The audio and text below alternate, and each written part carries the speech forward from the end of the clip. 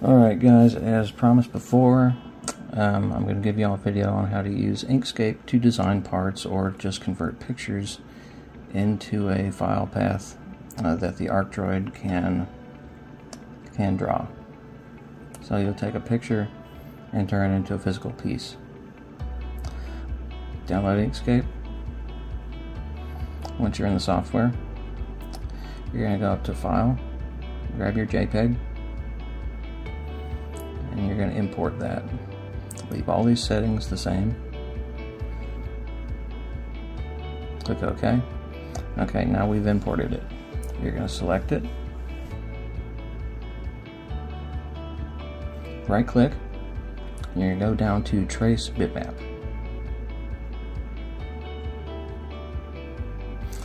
Now we're in here. We're going to leave all the settings alone since the video, or since the image is um, black background, white foreground. I'm going to go to the setting that says invert image. Just like that, and I'll apply it. I'm going to drag the uh, vector off now. Select my JPEG. I no longer need it, so I'm going to select and delete. Drag my vector back onto the canvas.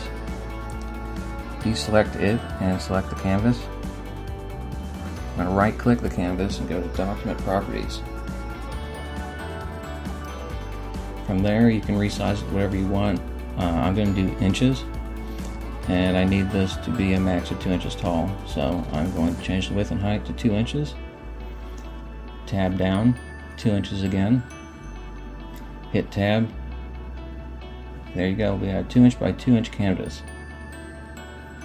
Close out that box and drag my vector over to it. And so I don't lose my proportions, I'm going to hold down Control Shift and drag in that bottom arrow.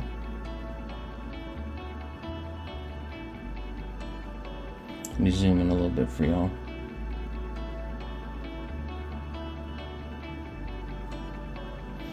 Alright, so we're just about perfect on there. I can live with a little bit of gap above and below.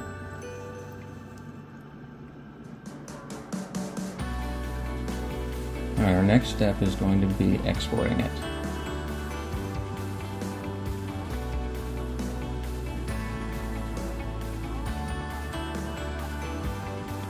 Up here, press this button for export. Uh, we're not going to do an export to PNG. We're going to uh, do an export to an SVG file. That's the file that ArcDroid will recognize and create a tooling path for. Now I already did this, so it's going to want me to replace it. I'm just going to cancel it. Now from there, you're going to go to where you saved it, or you're going to go to where you exported it to, which is right down here. You're going to take the SVG file, and you're going to copy it to the flash drive that you have plugged into your ArcDroid.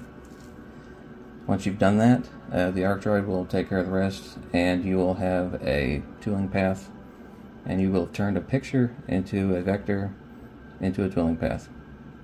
Thanks for watching. And uh, like, comment, and subscribe for more content.